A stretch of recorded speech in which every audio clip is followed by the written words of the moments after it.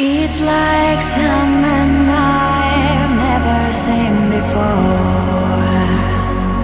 Dropped in that place we